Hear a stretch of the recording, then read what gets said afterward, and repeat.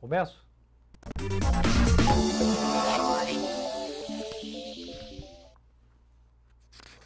Muito bem, estamos de volta à Conexão Popular com o presidente da Câmara, o vereador Paulo Miranda. Vamos lá, Luiz.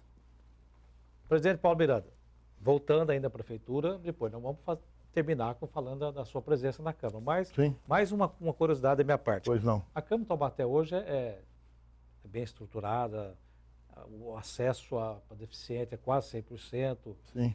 Um, pro, um, um, programa agora de Câmara sem papel, né? Sim. Os processos internos já estão só via digital, não, não, se gasta muito pouco papel hoje aqui. E me parece que a prefeitura ainda está um pouco atrasada nesse sentido. Quer dizer, nesses três meses que o senhor ficou na prefeitura, deu para sentir a diferença da estrutura administrativa, de, de, de, de processos, de, de, de, estrutura de maneira geral? A diferença entre Câmara e Prefeitura? Deu, com certeza. É, é, a estrutura da Câmara é, não tem nem comparação com a estrutura da Prefeitura. A Câmara tá, é, top de linha hoje, pode-se dizer assim. Inclusive, eu tinha assinado lá para fazer a Prefeitura sem papel e parece que ele cancelou. Ele cancelou. Então, isso aí é uma economia de papel absurda.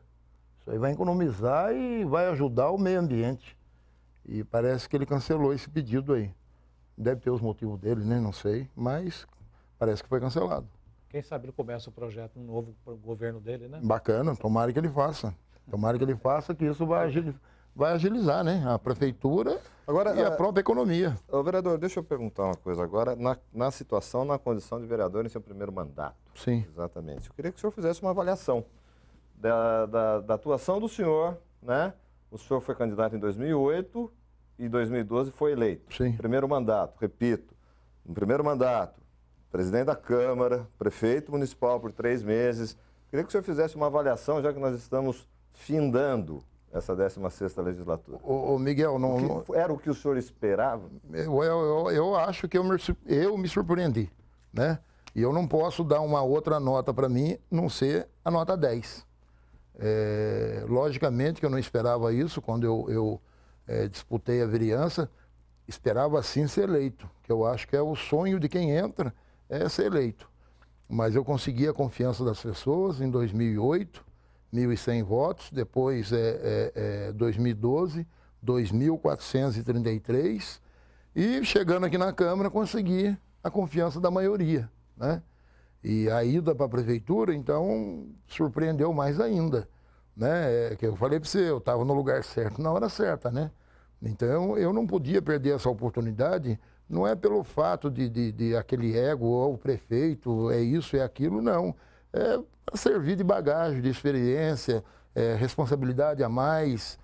É, é, que nem você falou, é administrar uma cidade de, de 300 mil habitantes é uma responsabilidade enorme mas eu, eu me saí bem. Eu fico feliz, eu me saí bem. Eu tenho certeza que o próprio prefeito, hoje atual, tenho certeza que, que eu deixei a prefeitura redonda. Da mesma forma que ele saiu, quando ele voltou, ele achou. Alguma coisa? O senhor, como militar, né, é, deixou a caserna lá, deixou a polícia e veio para o jogo político, né?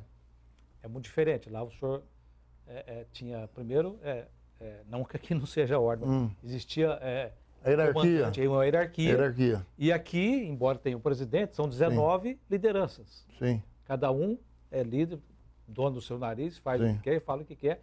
E o senhor, esse ano, é, teve é, que, vamos dizer assim, é, contemporizar muita briga, briga mesmo, discussão pessoal dentro do plenário.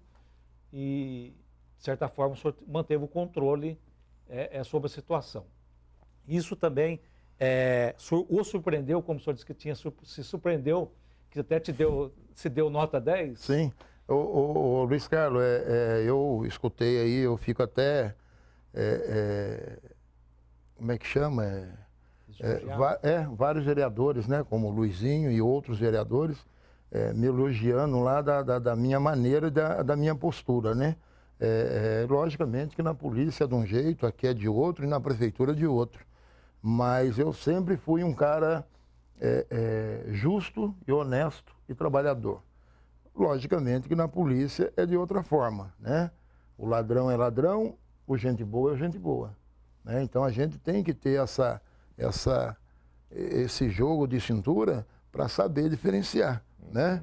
É, ladrão bom é preso, né? É na cadeia. Não existe ladrão bom solto, né? Então, e aqui nas brigas são brigas políticas, né? E a gente tem que intermediar ali para que não, é, é, não, não piore mais daquilo que já está, né? Então a gente procurou ter a calma, ter o, é, a tranquilidade de poder administrar aí e vamos terminar até dia 31 de dezembro. A gente vai, da mesma forma que eu entrei na prefeitura, entrei na Câmara pela porta da frente, quero sair pela porta da frente. O que, que foi mais difícil de adaptação no Legislativo? A articulação, é, o entendimento eu, de como é, funciona? Eu acho, eu acho que é um conjunto, né, Miguel? Eu acho que é tudo isso aí. Né? Articular, é, de entender como é que funciona. É, quando nós entramos aqui, a gente não sabia. Eu falo a gente porque o, é, o gabinete inteiro é, não sabia como é que fazia um requerimento, fazia um ofício. E hoje a gente. É, é ter um processo nas costas. Tem um processo nas costas, né?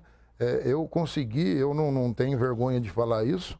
É, é, fui licenciar meu carro esses dias e a moça lá do, do Detran me chamou assim, falou assim, faz favor um pouquinho, o senhor não consegue porque o, senhor, o bens do senhor está bloqueado.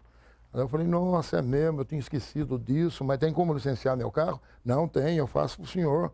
Mas isso tem que ser pessoalmente, o senhor não pode ir na casa lotérica e pagar.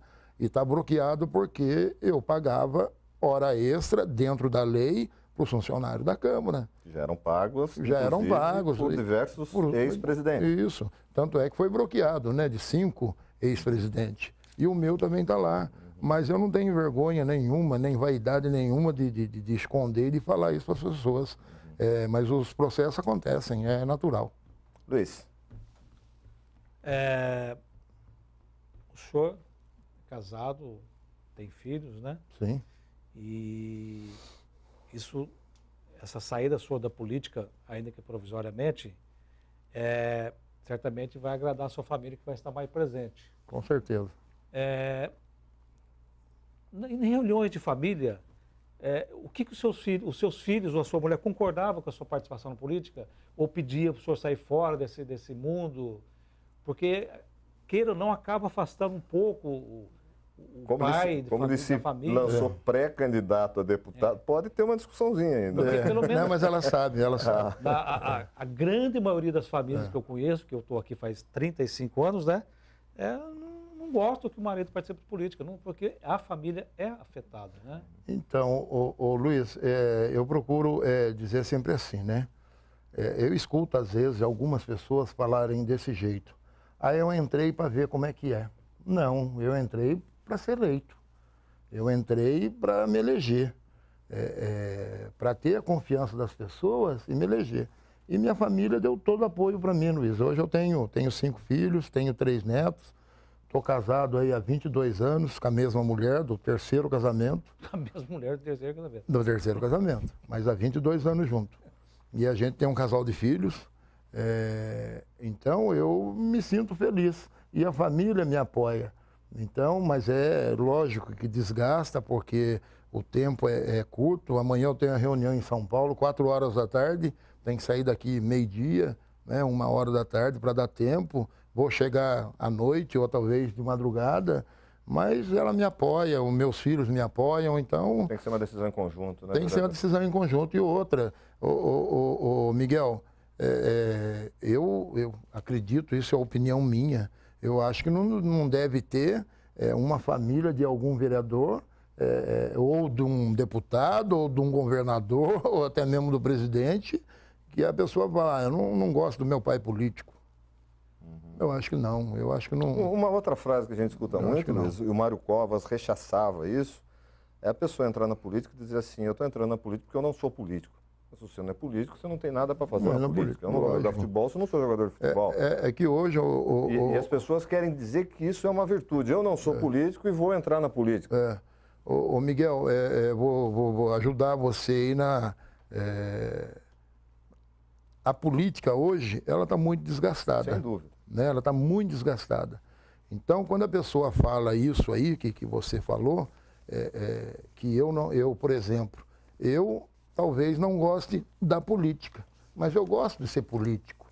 mas a política do meu jeito, de tentar ajudar as pessoas. Da boa intenção. Da boa intenção, de melhorar. Né? Então, o sonho é, de vereador ou de prefeito, eu acho que é, é, é, outros têm várias opiniões, ninguém é igual a todo mundo, mas cada um tem a sua. É que a política é. perniciosa. Ela está muito desgastada. Né? Ela desgasta. E tomara que se desgaste cada vez mais, Sim. apodreça e caia. Lógico, né? para que melhore. Para que melhore. O que a gente vê em Brasília realmente fica cada vez mais que difícil. Que realmente seja feito a finalidade, que é tentar ajudar as pessoas, tentar melhorar. Sem dúvida. Né? Por exemplo, você pega aí, o pessoal reclama da saúde com razão, né? porque se o sistema funciona o vereador não precisa tentar ajudar a marcar consulta.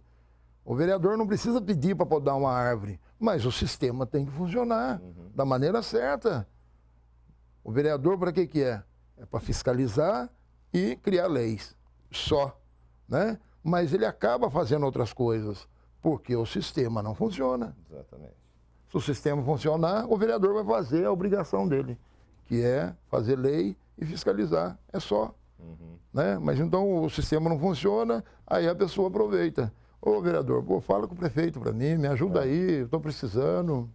Então é essa caminhada. Presidente, minha última pergunta, antes eu só fazer uma observação, uma opinião, uma convicção que eu tenho. Pois não. De que a política só vai melhorar, os política e os políticos, né, presidente? Sim. Só vai melhorar quando o povo começar a gostar de política, acompanhar. Sim, eu Porque acredito. Não tem outro jeito de, de, de, de escolher melhor é, a não ser acompanhando. Foi bom você tocar nesse assunto. Porque você vai errar. Sim. Tudo bem, errou, mas eu estou acompanhando. Daqui a Sim. pouco, é, uma hora você vai acertar, vai mudando. A conscientização das pessoas a, a gostar de política é o melhor caminho hoje, para melhorar. Hoje, volto a dizer, hoje, no, num consultório médico, uma senhora lá falando comigo, ela é professora aposentada, e ela falou assim, nossa, a, as pessoas reclamam muito da saúde, reclama da educação, reclama da, da, da segurança. É, é, e aí eu pergunto uma pessoa, é, você votou? Daí ela fala assim, não, eu não, votar para quê? Não vai melhorar? Então como é que você vai cobrar? Exatamente. Então Olha... como é que você vai cobrar? E a Isso. maioria das pessoas que cobram, é, é nem votar, votaram. Uhum. Uhum. Sabe? É, como eu sempre falo aí no, na, na, na, tribuna, são os cornetas de plantão que fica lá no, no né, hoje o, o, Facebook aí, mas não sabe como é que funciona, ele não sabe como é que é. Ele nunca teve aqui. Quem já teve aqui sabe como é que funciona. Então ele pode até explicar. E essa senhora acabou falando para mim, Luiz, pra, né, só para dar uma. É, é, essa senhora acabou de. É, se fosse aprovada uma lei que, que tivesse, que fosse obrigado a ter matéria na escola com relação à política, ela iria dar aula de graça para ensinar as crianças que eles têm que participar, eles têm que votar, eles têm que escolher o seu, o seu representante para depois poder cobrar. Mas eu acho que é o seguinte, eu acho que é um pouco difícil para a criança entender sim, a sim, política sim. que é feita no Brasil. Sim, sim. Mas Porque é, é o samba é, do doido. Mas é, é, é, é, naquele que você vota. Não é? É naquilo que você vota. Você hoje vota através de um assistencialismo e para a corrupção existir tem que ter corruptor vice-versa.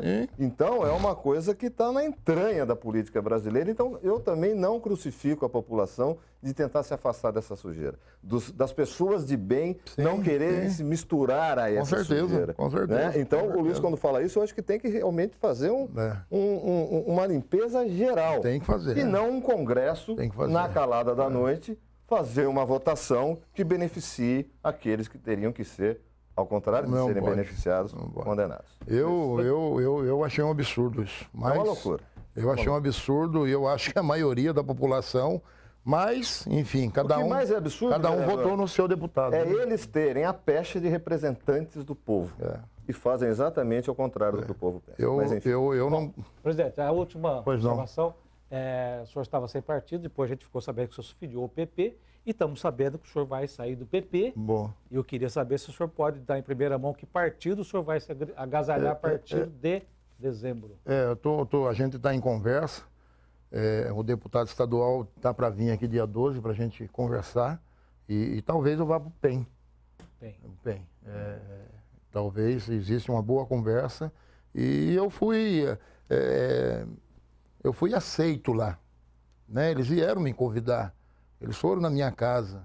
É, o deputado vai vir aqui na Câmara falar comigo.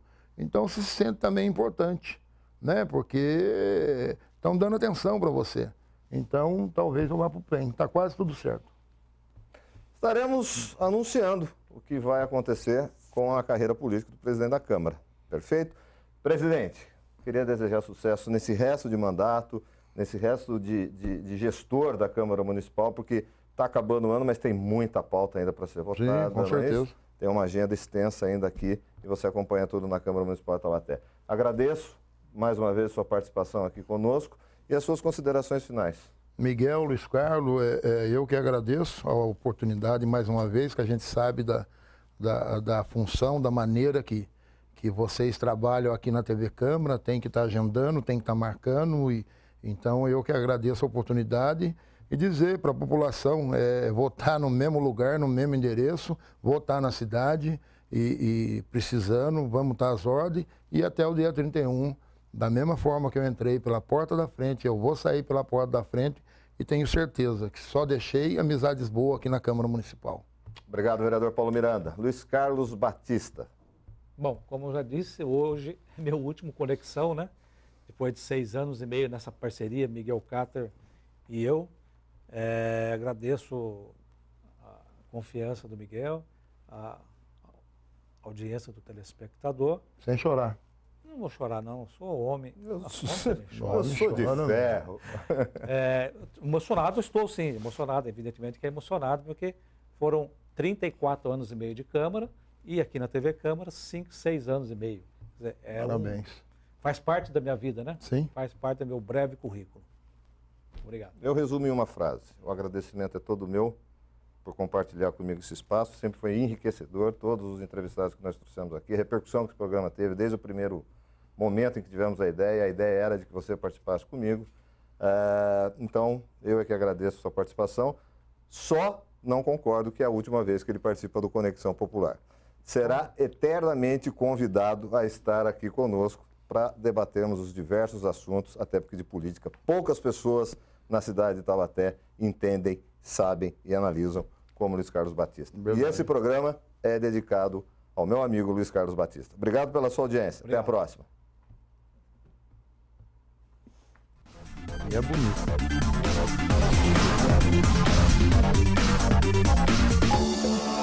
Tá pensando que você vai fugir daqui ou...